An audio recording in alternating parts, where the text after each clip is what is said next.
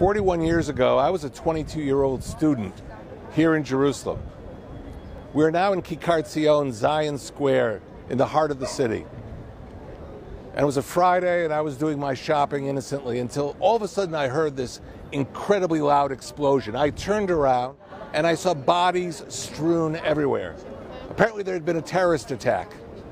The Fatah organization had brought a refrigerator packed with explosives and placed it right across the street in front of a hardware store.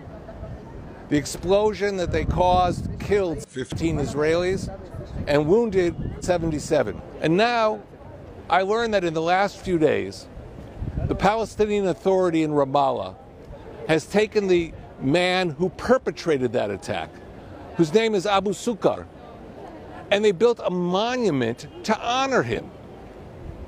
That's the education that the Palestinian Authority wants to give to Palestinian children. The way it is now,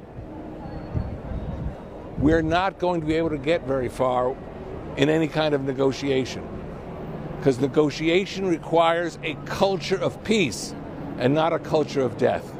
So I'm hoping that Mahmoud Abbas, who heads the Palestinian Authority, heads the Fatah movement, will tear down that monument